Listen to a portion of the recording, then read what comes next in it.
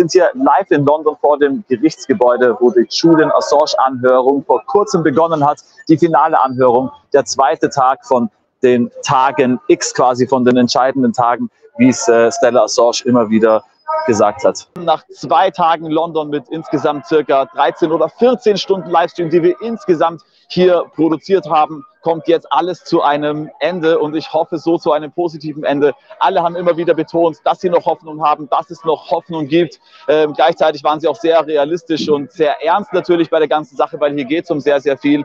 Aber ich hoffe doch, dass äh, das Gute siegt, dass die Menschlichkeit siegt, dass die Pressefreiheit siegt, dass die Freiheit siegt, dass wir als Menschen diesen Prozess in Anführungsstrichen gewinnen. Das ist der äh, finale Protestmarsch. Er führt uns direkt vor die Downing Street, da wo der Premierminister von England seinen Sitz hat.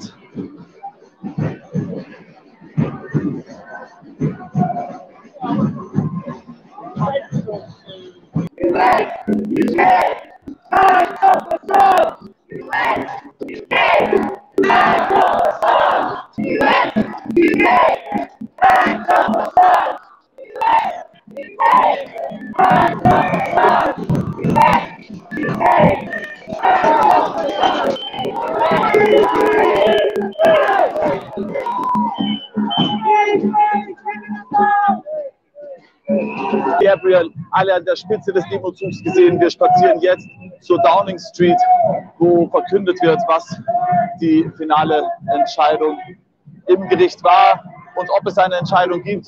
Denn äh, ich habe euch ja im Stream schon erzählt, meine Theorie ist ja, dass sie es heute gar nicht verkünden werden, beziehungsweise nicht final verkünden werden. Warum? Naja, weil jetzt die ganze internationale Presse da ist. Jetzt sind alle da, die zuschauen, alle schauen jetzt drauf. Die deutschen Medien, die internationalen Medien, von überall. Es ist natürlich jetzt sehr viel Aufmerksamkeit auf diesen Fall. Also ich würde es wahrscheinlich an der UK-Stelle nicht anders machen, weil natürlich, wenn du es erst in ein paar Wochen, egal wann sie es wirklich dann verkünden, ist natürlich kein Kamerateam da. Dann haben wir das gleiche, dann haben wir das gleiche Spiel, wie wir davor hatten. Die Leute vergessen Assange, die Journalisten vergessen Assange. Und ich glaube, darauf spekuliert das Rechtssystem, das Rechtssystem in UK. Aber wir lassen uns überraschen wir bringen euch natürlich live und ungeschnitten der Downing Street. Weil eigentlich würde ich mir wünschen, dass wir nicht der größte Stream sind. Ich würde mir wünschen, dass es einen ARD-Stream gibt, einen Welt-Stream, einen ZDF-Stream, einen ORF-Stream, dass alle diese Medien, die mit unserem Geld ausgestattet sind und um die es ja hier auch geht, um diese Pressefreiheit es auch geht, dass gerade die große Streams auf die Beine stellen sollten. Also ja, ich finde es eher, es ist ein trauriges Zeichen und ein trauriges Zeichen für diese Medienlandschaft, für diese Mainstream-Medienlandschaft. Und nachdem wir auch gestern noch gesehen haben, gestern Abend, wie sie berichtet haben, was sie berichtet haben, wie das Wording war, dann weiß man auch, ein ganzer Stream hätte nichts gebracht. Kelban ist da.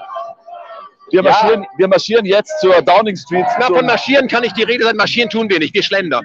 Mit marschieren habe ich nichts zu tun. Wir marschieren friedlich. Wir marschieren friedlich und unser Slogan heißt ganz klar: Be, be, be Assange. ja, wir alle sind Assange. Wenn Sie den abräumen, sind wir die Nächsten. Okay, ja. ganz wegen. Deswegen, wir werden, wir, wie die Zellen werden wir entstehen. Wir werden uns diese Scheiße nicht bieten lassen. Ich habe gerade einen Spiegelmitarbeiter gefragt, was ich denn hier mache. Dann ja. habe ich ihm gesagt, ja, das, was du nicht machst. Wir berichten.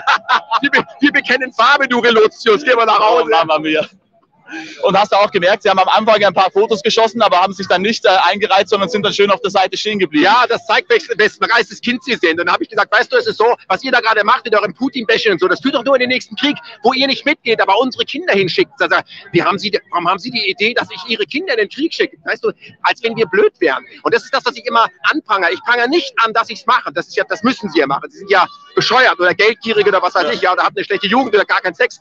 Aber die Art, wie sie es machen, das ist so ohne Raffinesse. Das ist so ohne, das ist so billige Effekt, das ist wie Lindenstraße gegen was ich, äh, äh ein amerikanischer Science-Fiction-Film der neuesten Generation. Das ist einfach nur schlecht. Und ich habe mit meinen Steuern etwas Besseres verdient von ARD, ZDF oder auch den Geheimdiensten. Ich möchte für mein Geld was geboten bekommen. Verstehst du? Das ist doch nicht, das ist doch keine Netflix-Qualität, was ich hier biete. Das ist doch Schrott. Ja, das ja aber wenn du, auch, wenn du auch nur 18 Euro im Monat zahlst, du musst es halt wie Bill Gates machen, der legt halt mal zwei, drei Millionen auf den Tisch. Ja, und dem Bill möchte ich Folgendes sagen. Weißt du, auch wenn du das nicht vorstellen kannst, du Philanthrop, mit dir kommen ja die Tropenkrankheiten. Nein! Ja. Hinterm Horizont Gates weiter. Da brauchen wir dich nicht dazu. Wahre Worte natürlich wie immer von unserem äh, Kayvan Sufisirwasch, der natürlich auch hier live vor Ort mit dabei ist und wie er es richtig gesagt hat, leider die Mainstream-Medien nicht. Und auch wir haben heute äh, durch Zufall mit einer Journalistin gesprochen. Ich möchte jetzt den Sender nicht sagen, weil ich will ja auch niemanden in die Scheiße reiten und grundsätzlich finde ich ja froh, dass jeder Einzelne, der da ist, auch wirklich da ist. Aber wir haben mit einer Journalistin heute in unserer kurzen Pause im Regen, äh, haben wir mit einer Journalistin in äh, der äh, Bäckerei, wo wir kurz was gefrühstückt haben, äh, sind wir zufällig ins Gespräch gekommen, weil sie uns durch die deutsche Sprache gedacht hat, wir wären das ARD-Team und deswegen hat sie sehr offen mit uns gesprochen.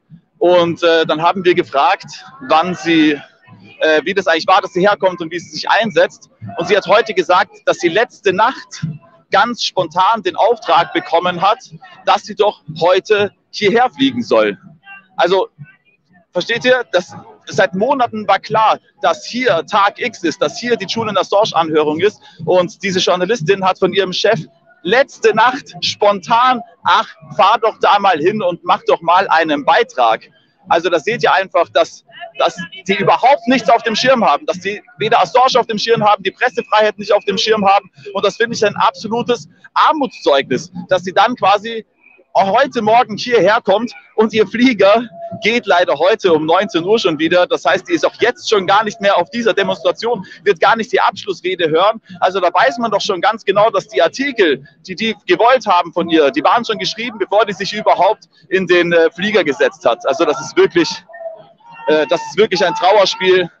Und als wir dann später gefragt haben, weil sie gefragt hat, äh, wie das dann eben bei uns eben weitergeht und wir uns zu verstehen gegeben haben, dass wir kein Mainstream-Medium sind, dann hatte sie es aber ganz eilig und dann ist sie innerhalb von zwei Minuten aus dieser Bäckerei raus gewesen und das war's mit dem Gespräch. Aber es war einfach mal ganz spannend zu sehen, dass ihr das einfach komplett egal war, dass auch der Redaktion das anscheinend komplett egal war, was hier passiert, sondern dass sie nur mal kurz jemanden hergeschickt haben, weil jetzt sind ja schon Leute da und da muss man ja wohl mal ein bisschen äh, berichten. Also es ist wirklich, ja, ich kann nur sagen, es ist ein Trauerspiel, was wir hier von Medienseite erlebt haben und es ist äh, ja, sie müssen es besser machen. Sie müssen es besser machen. Wozu zahlen wir alle so viel Geld jeden Monat, Milliarden und Milliarden, um Propaganda zu bekommen? Und wenn sie dann berichten, die gleichen CIA-Talking Points zu bekommen und immer wieder und immer wieder den gleich selben Bullshit.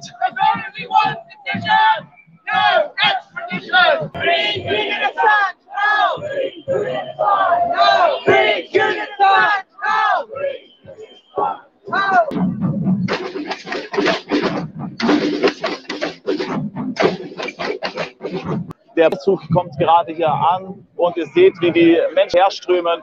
Direkt vor uns liegt die Bühne. Ich habe einen guten, äh, guten Platz für euch erwischt, dass wir gleich die Bühne sehen werden. Ihr bekommt live und ungeschnitten Stella Assange, das Anwaltsteam von Wikileaks. Jetzt geht's los, ich drehe euch um. Free Assange. Everything turns on the outcome of this case.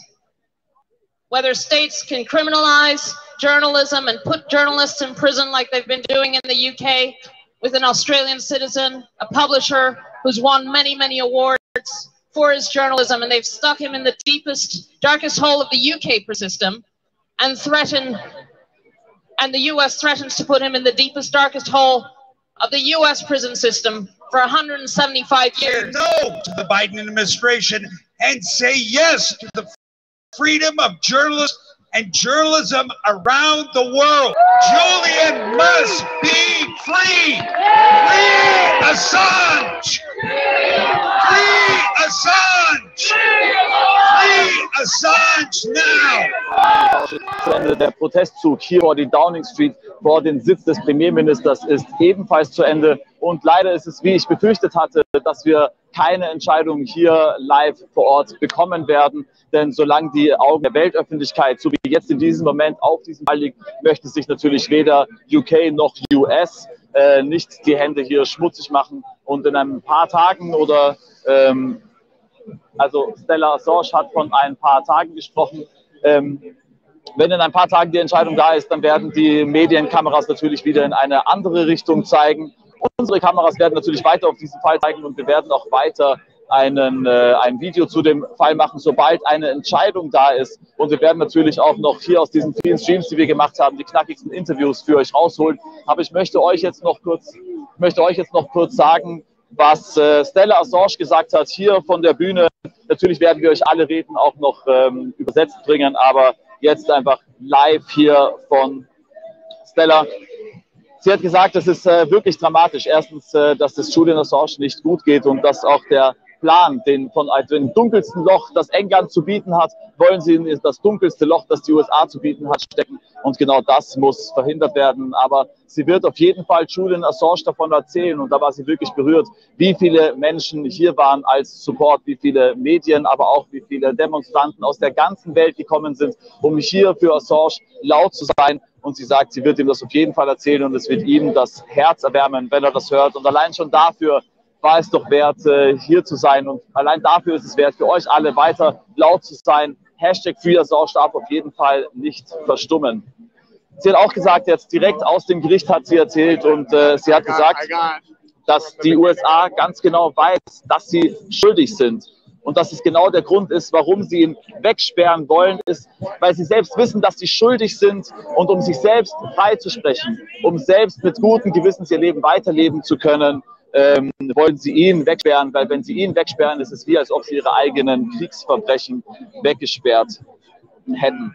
Dann äh, hat sie nochmal betont, dass es ihm jeden Tag ein bisschen schlechter geht und dass, wenn er wirklich ausgeliefert wird, vermutlich sterben wird.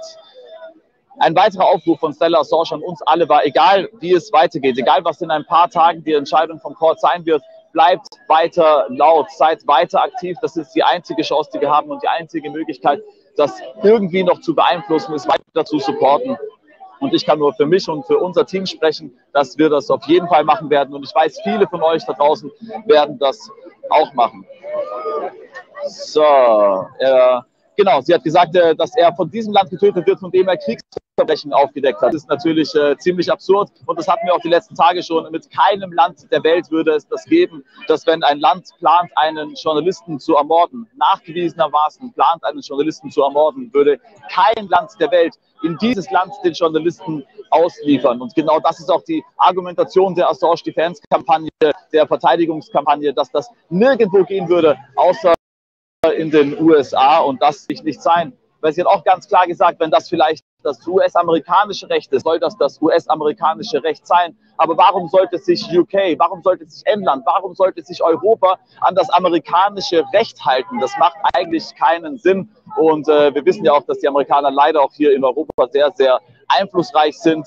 Aber in einer normalen Welt, in einer normalen pressefreien Welt, in einer normalen demokratischen Welt, wie wir sie ja eigentlich immer vorgespielt bekommen, dürfte das eigentlich nicht sein. Aber ihr werdet natürlich hier auf, hier auf dem Kanal natürlich erfahren in ein paar Tagen, was die endgültige Entscheidung gewesen ist. Und eine sehr absurde Situation aus dem Gericht hat sie noch erzählt, und zwar, immer wenn es im Gericht dazu gekommen ist, dass sie Beweise zu dem Mordanschlag, Beweise zu den Attentatsplänen gebracht haben, immer das Thema gewechselt wurde, dass immer das Thema gewechselt wurde, wenn es quasi zu kritischen Punkten für die Assange-Kampagne gekommen ist. Immer wenn das Thema zu Kriegsverbrechen gekommen ist, zu Guantanamo Bay, zu dem Foltergefängnis gekommen ist, zu den getöteten Zivilisten. Davon wollten die Richter, davon wollten die im Gericht nichts wissen und haben immer das Thema gewechselt. Es war in den ganzen zwei Tagen war das nicht einmal Thema. Eigentlich das, worum es hier wirklich geht, war nicht einmal Thema in diesem Gerichtsgebäude. Es ist eigentlich das kann man keinem erzählen, wenn er von einem